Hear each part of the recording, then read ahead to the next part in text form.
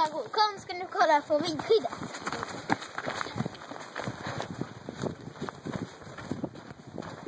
Här är vindskyddet.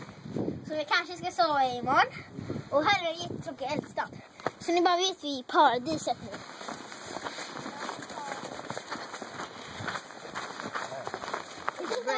Kolla, kameran. Här är den riktiga eldstaden. Sjunde då?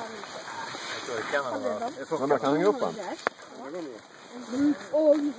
the dog again. Says, no, no, no.